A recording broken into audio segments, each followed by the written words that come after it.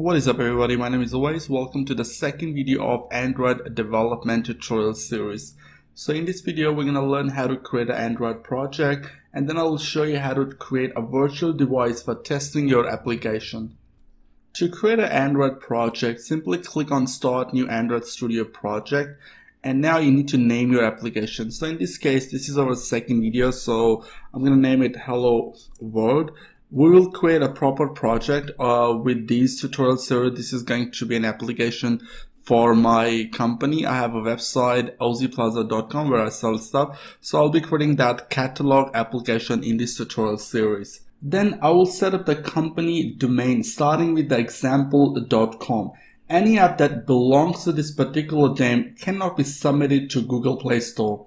So by using this, I will make sure that it always marked as a sample application. But our particular app is going to be a clothing catalog for aussieplaza.com.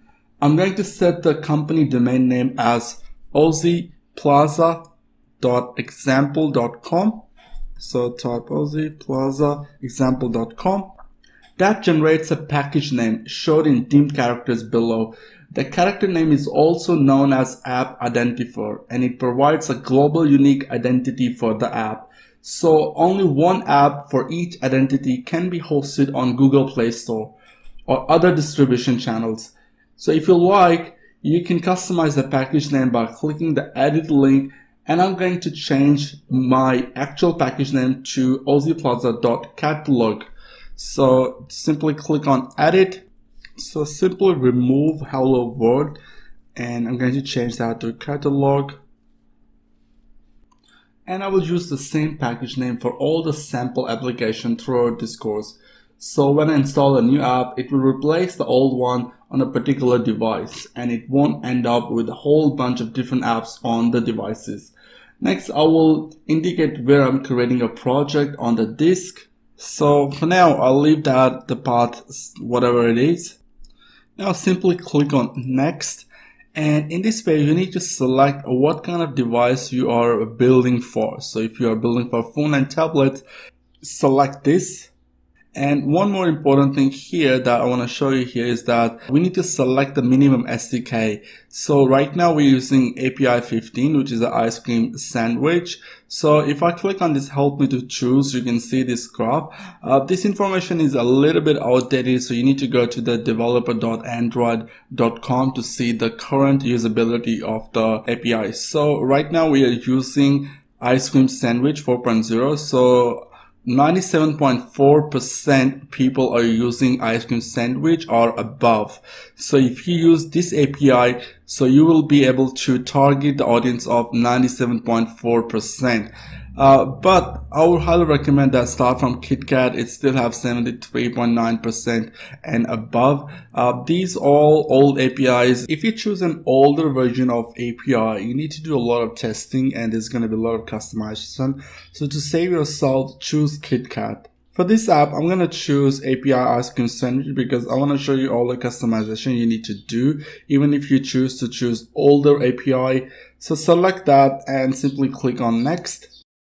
Here you need to select the activity. So in this case, I will choose a basic activity, but if you want to start from scratch, you can select empty activity which will have a minimum text. Let's select basic activity for this video. And now you need to type the name of your activity. This is going to be our Java class. So this is a main activity which is going to be a Java class, a layout name which is an XML file.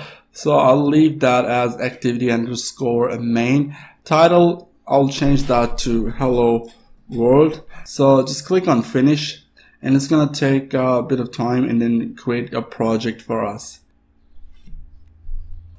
our project has been created so these are a few tips that Android Studio gives you.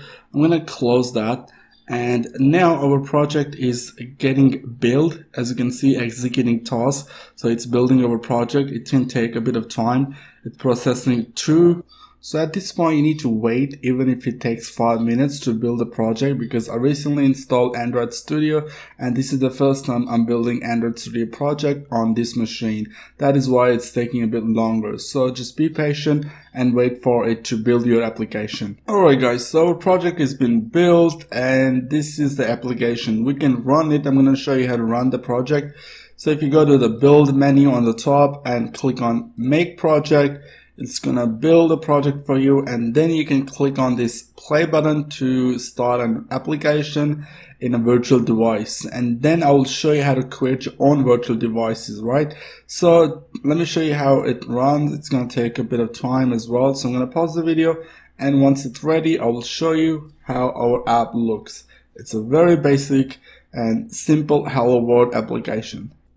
Now let's run the project. Click on this play button and it's gonna initialize our AVD it's our virtual device so I'll show you in a moment that how to create a virtual device. So here we're using Nexus 5X so click OK. So our Android device is getting started. It might take a bit of while to start for the first time so just be patient guys it's not gonna take a day it's just gonna take like few minutes. Alright guys so this is our basic app which actually doesn't have anything yet.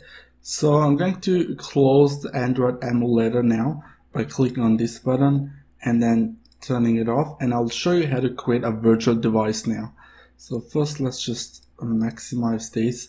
And to create a virtual device you need to go to tools Android and then go to AVD manager. So now you see this Nexus 5X API, right? So I'm going to get rid of this and then we'll clear this by clicking on this arrow and then click on delete and get rid of this.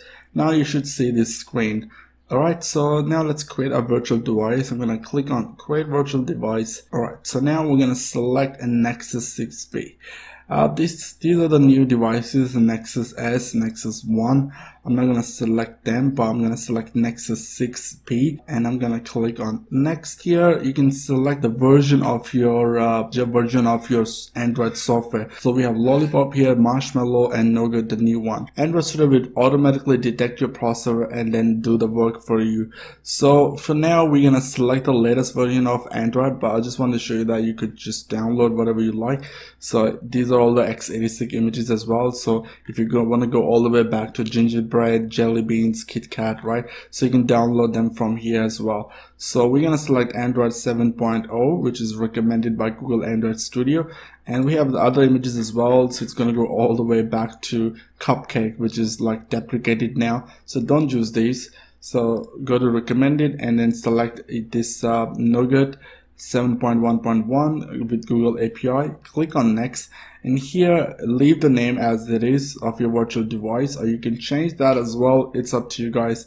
And then we're going to select the orientation. So it's portrait landscape. So I'll just uh, choose portrait right? And then emulated performance so here uh, you should select the hardware. So I have the graphic cards in my computer. So I will use graphics hardware because it's gonna boost the performance of emulator so if you select automatic it might not use your graphic cards. So it's good idea to select hardware. Click on show advanced setting. So let me just maximize this window here. We can just look a bit more. All right, so if you go down here, you can see we have the camera front and back emulated or not. Network, it's gonna show you how your network, uh, how your device use your network. Down here, we have selected the emulated performance to hardware and then you can allocate the core CPU to this device. So if you have like 8 core CPU, 16 core, or 5 core, whatever it is, so you can apply to them, right? So RAM. So I have 16 gig of RAM, so I can allocate this to, I'm gonna click on this and then select GB, and then I will allocate this to, let's say 2 GB. Internal storage, so I have 800 MB allocated to this device, you can change that as well.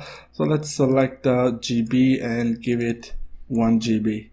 Now we have SD card, so there's no need to worry about because this is a virtual device and then we have enabled device frame that's fine you can see that device frame as well. You can customize this by nexus 7 nexus 9 or tv or whatever it is. And then you need to make sure that you turn on this enable keyboard input. So this is gonna let you type your text from the computer keyboard. It's gonna be helpful a lot. So let's click on finish now. It's gonna save the settings and then it's gonna create so that's how you can create your virtual device guys. It's not that hard. And let's close this. And now let's run the program one more time. So I'm to select this uh, Nexus 6P now. And you can check these options. Use same selection for future launches. So select that. So it's to ask it's not to show you this dialog box anymore. So click OK. It's to run this application to the new Nexus 6P so virtual device is starting. If you're starting this for the first time as I am, it could take a bit of time. So be patient, don't worry, it will work. So our Android device is starting now. Alright, so our virtual device is fully functioning. I can drag from the top to bottom to look at the options and then we can actually click here to see all the apps available. In the next video, I'm going to give you an overview of the Android Studio and then we will add functionality to our app. So thank you so much for watching and if you have any question, let me know in the comments below and I'll talk to you guys in the next video. Cheers.